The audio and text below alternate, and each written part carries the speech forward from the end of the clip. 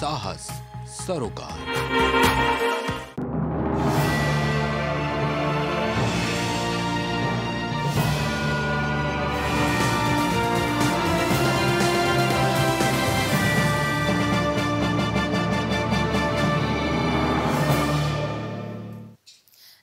Prime TV में आपका स्वागत है। मैं हूँ आपके साथ शिखा मेहरोत्रा शुरुआत करते हैं प्राइम उत्तर प्रदेश की। यूपी विधानसभा के बजट सत्र का मंगलवार को दूसरा दिन है। आज सदन में राज्यपाल के अभिभाषण पर चर्चा होगी। इस दौरान भी हंगामा होने की पूरी संभावना है। मंगलवार को मुख्यमंत्री योगी आदित्यनाथ सदन में मौजूद रहेंगे। साथ ही राज्यपाल ने अपने अभिभाषण में जो सरकार की उपलब्धियाँ बताई है, सीएम भी उन्हें विस्तार से बता सकते हैं। आपको बता दें कि बीते दिनों सत्र के पहले दिन समाजवादी पार्टी के विधायकों ने राज्यपाल के अभिभाषण के दौरान कानून व्यवस्था, रोज़गार जैसे सवालों को लेकर जमकर हंगामा किया था। इसके बाद बजट सत्र को स्थगित कर दिया गया था। पहले दिन की कार्यवाही राज्यपाल के अभिभाषण से शुरू हुई थी। इसके बाद पूर्व सदस्यों के हुए देहांत पर श्रद्धांजलि दी गई। इसके बाद सभा अ, सपा विधायकों के हंगामा करने के कार, कारण विधानसभा की कार्यवाही मंगलवार 11 बजे तक के लिए स्थगित कर दी गई थी। आज सदन की कार्यवाही का दूसरा दिन है और काफ़ी हंगामेदार रहने की संभावना जताई जा रही है दूसरे दिन की भी।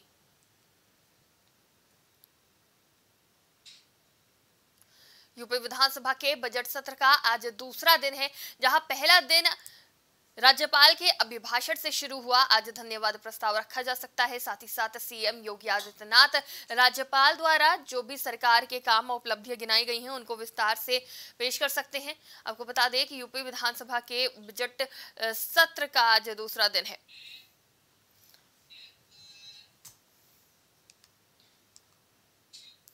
ज्ञानवापी मस्जिद विवाद के लिए आज का दिन बेहद अहम है। वाराणसी की जिला अदालत अपना फैसला सुनाने वाली है, जिसमें यह तय होगा कि केस की सुनवाई किस दिशा में आगे बढ़ाई जाए और सबसे पहले कौन सी याचिका पर सुनवाई की जाए। सोमवार को हुई सुनवाई में हिंदू पक्ष और मुस्लिम पक्ष ने अपनी अपनी दलीलें दी। हिंदू पक्ष ने मांग की है कि पहले कमीशन की रिपोर्ट के आधार पर सुनवाई आगे बढ़ाई जाए।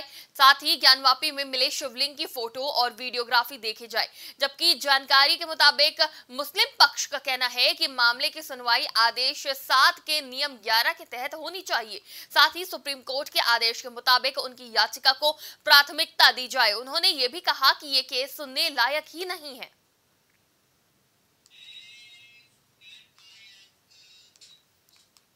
फरुखाबाद के बाग लकूला में मन, मसेनी चौराहे की ओर बने अस्पताल और होटलों के अवैध हिस्से पर बुलडोजर चला है जहाँ बाउंड्री वॉल और बाहर बने शौचालयों को गिरा दिया गया। साथ ही दो दो मंजिला इमारतों का अवैध हिस्से को भवन स्वामी खुद ही गिराने में जुट गए। बता दें कि सोमवार सुबह आठ बजे सिटी मजिस्ट्रेट पुलिस और पीएससी के साथ बाग लकूला पहुँची थी। उन्होंने अपनी देखरेख में नक्शे के अनुसार नाप करवाकर अस्पतालों मकानों दुकानों होटलों गेस्ट हाउस की दीवारें बाउंड्री वॉल गिरवानी शुरू की। लेकिन आंधी बारिश के कारण समय से पहले ही अभियान बंद हो गया था।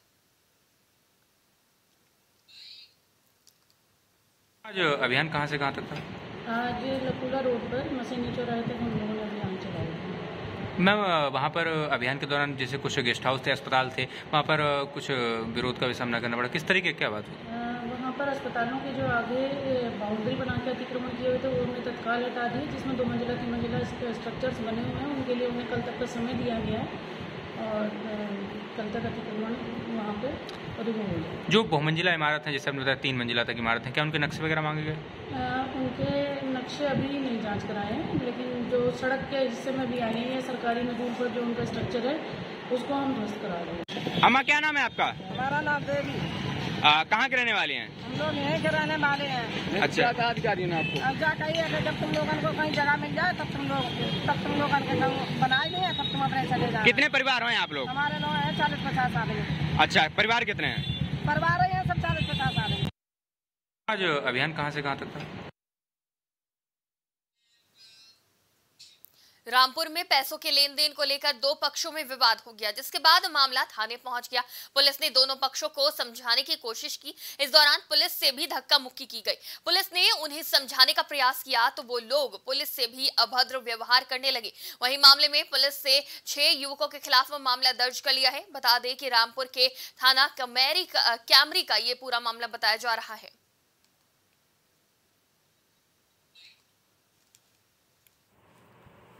सर, थाना कैमरी पुलिस द्वारा छह अभियुक्तों को गिरफ़्तार किया है। क्या है पूरा मामला? सरदार बलजीत सिंह के हरद्वारी लाल पर कुछ उधार के पैसे थे।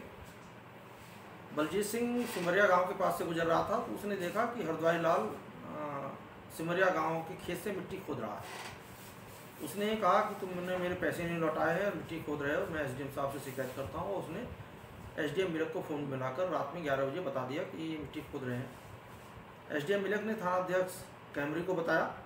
कैमरी पुलिस गई और वहाँ पर जो सरदार बलजीत सिंह और हरद्वार लाल दोनों पक्ष वहाँ पर झगड़ा कर रहे थे, आपस में कहाँ सुनी हो रही थी, दोनों पक्षों को थाने पर लिया लखनऊ के थाना नगराम में मदारपुर, तमोरिया के लापता अखिलेश कुमार का शव जंगल में अपनी ही शर्ट से बनाए गए फंदे से लटकता मिला है। जिसकी पहचान के बाद पुलिस ने इस मामले की जानकारी परिजनों को दी। जिसके बाद मौके पर पहुँचे परिजनों ने हत्या करके शव को लटकाए जाने की आशंका जताई है। जबकि इस मामले पर परिजनों ने पुलिस पर आरोप लगाते हुए कहा कि पुलिस को शिकायत किए जाने के बावजूद पुलिस ने लापता युवक को ढूँढने के लिए कोई एक्शन नहीं लिया। दिनांक अट्ठारह तारीख को इसमें एक अखिलेश नाम का व्यक्ति अपने मामा के यहाँ किसी कारणवश जा रहा था और उसके बाद रास्ते में ही वो गायब हो गया था, जिसके संबंध में इनके परिजन इसके सगे भाई जगदीश द्वारा थाने पर नगराम में और गुमशुदगी रिपोर्ट दर्ज कराई गई थी। दर्ज करने के बाद पुलिस उसको ढूँढने का पूरा प्रयास कर रही थी, लेकिन आज सवेरे के टाइम में सूचना मिली कि एक व्यक्ति की लाश तमरिया जंगल में लटकी हुई है जिसके आधार पर पुलिस मौके पहुँची और सब लोग पहुँचे वहाँ पर। तो शिनाख्त हुई कि ये लाश जो है अखिलेश की जो गमशुदा था उसी की लाश है। क्या नाम है आपका? हमारा नाम सर्वेश है। क्या कुछ हुआ था? कब से आपके पति लापता देवर लापता थे? कब से लापता थे आपके अठारह तारीख से मंगल दिन था। हम्म, तो आज आप लोगों को कैसे सूचना मिली? आज हम लोग हमारा पति हम लोग गए थे एक बाबा के लगे इन्हें खोज करने के लिए। हम्म, तो वहाँ एक जने फ़ोन किया है कि यहाँ वो एक जने यहाँ सोरी चरा रहे थे जंगल में नहीं उसकी सोरी जहाँ पे हमारा देवर लड़का था वहाँ पर सोरी गई थी। तो उसने अपनी सोरी देखने गए थे तो वो देखा है कि बताया है कि जंगल में एक इंसान लटका हुआ है हमारे गाँव का खबर किया। तो हमारे गाँव वाले हमीरपुर जनपद की राजकोट कोतवाली पुलिस ने वाहन चेकिंग के दौरान एक चार पहिया वाहन में सवार छह बकरी चोरों को गिरफ़्तार कर लिया है, जिसके कब्जे से चोरी की गई इकतालीस भेड़ और दस बकरियाँ बरामद की गई हैं। इसके अलावा गिरफ़्तार किए गए चोरों के कब्जे से पुलिस ने असलहा और कारतूस समेत नकदी भी बरामद की है। वहीं इस मामले पर सीओ राठ अभय नारायण राय ने बताया कि ये एक अंतर्राज्यीय गिरोह है, जिसके खिलाफ कई जनपदों में मामले दर्ज हैं।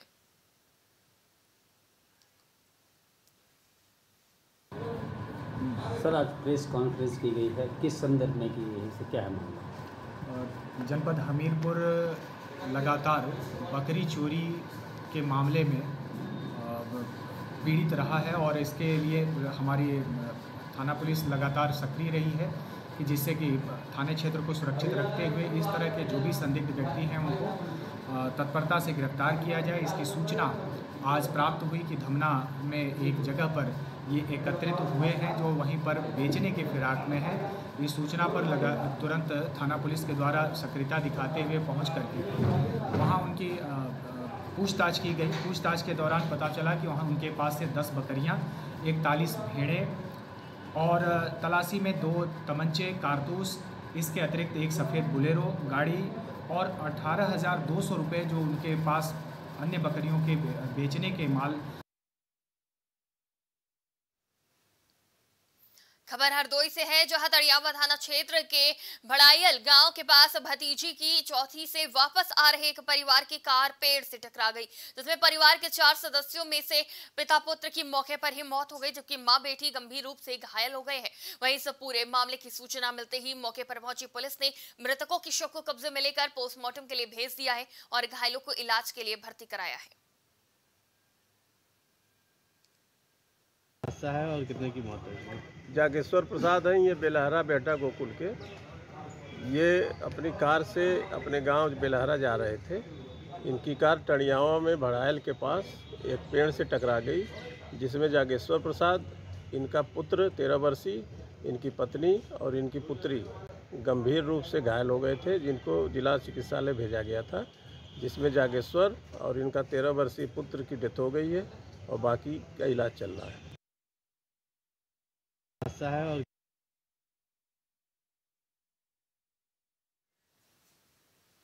सोनभद्र में साढ़े चार साल पहले हुए दलगजन हत्याकांड में अपर सत्र न्यायाधीश कोर्ट नंबर तीन में सुनवाई करते हुए प्रेमी राम नारायण और दलगजन की पत्नी संगीता को उम्र कैद के साथ साथ आठ आठ हज़ार रुपए के अर्थदंड की सजा सुनाई गई है और अर्थदंड नहीं देने पर छह महीने की अतिरिक्त कैद भुगतनी पड़ेगी। यह पूरा मामला 2017 का है, जब एक पत्नी ने अपनी प्रेमी के साथ मिलकर कुल्हाड़ी से वार करते हुए अपने पति को मौत के घाट उतार दिया था।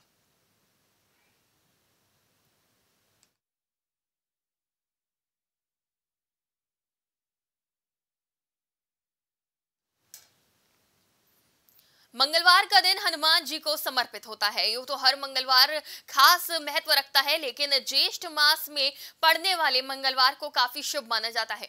ज्येष्ठ मास का दूसरा बड़ा मंगल आज मनाया जा रहा है। इसे बुढ़वा मंगल के नाम से भी जाना जाता है। इस दिन हनुमान जी की खास पूजा अर्चना करने से भी सभी कष्ट दूर हो जाते हैं। साथ ही जगह जगह पर बड़े मंगल के दिन लोग भंडारे का भी आयोजन करते हैं और आज भी कई जगह मंदिरों में भीड़ सुबह से ही देखने को मिल रही है। साथ ही साथ भंडारे के आयोजन भी किए जा रहे हैं।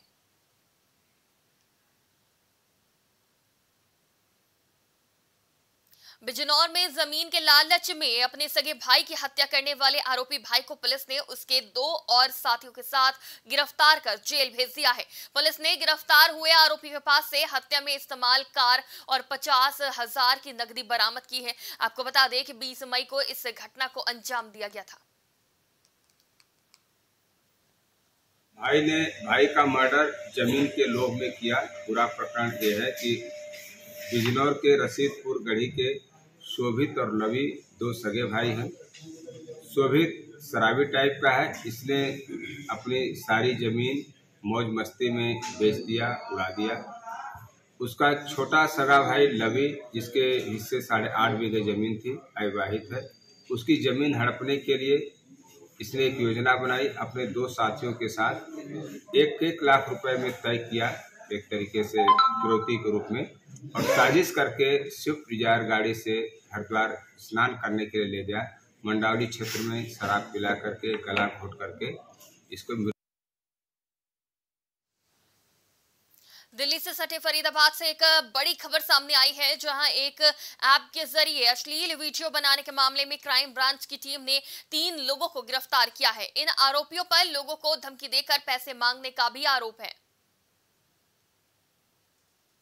देखिए, इसमें हमें कंप्लेंट आई थी कि कुछ लोगों ने ग्राइंडर ऐप का यूज़ करके इसमें ग्राइंडर एक गे चैटिंग ऐप है, जिसमें जो भी बंदा उस ऐप को डाउनलोड करके चैटिंग करता है और सामने वाला व्यक्ति उसको अपनी बातों में फंसा के अपने ठिकाने में बुलाता है और दो तीन लोगों के साथ मिलके उसका एक तरीके से अश्लील वीडियो बनाया जाता है और इस अश्लील वीडियो के ज़रिए उनको धमकी देके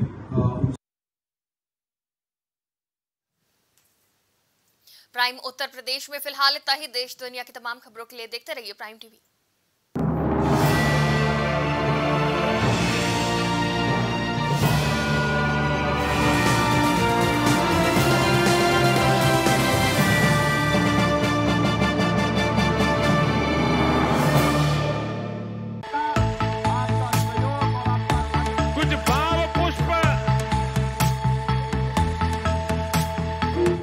देख रहे हैं प्राइम टीवी सच साहस सरोकार।